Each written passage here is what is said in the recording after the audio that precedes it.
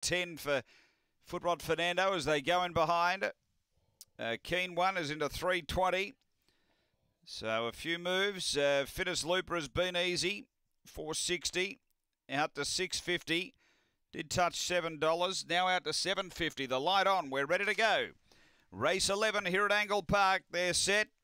Racing, oh boy, bombing the start there. Bobby Buble stood there, missed at seven. Speed fittest Looper straight to the front over Ebby Cruiser. Out deeper, Footrod Fernando, then Keen One, Tex Lee, and Bobby Buble. But the front runner is Fittest Looper. Moving up is Ebby Cruiser. They race to the turn. Fittest Looper, Ebby Cruiser. Keen One out wider. Ebby Cruiser took the lead. And Ebby Cruiser first, second, Fittest Looper third. Uh, looks to be Footrod Fernando just from Keen One.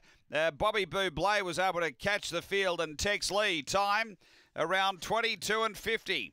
22.48 the gallop here. And uh, the winner number two. So uh, Cruiser for Rob Harness getting it done. Had good support on the tab fix market. Jump favourite. Uh, two first, four second, fittest looper for Ryan Tugwell. And uh, third to number eight, Foot Row, uh, Footrod Fernando for Bosco's Tomenkovic. Numbers are two, four, eight. Seven fourth home, Keen one after uh, race 11 in Adelaide.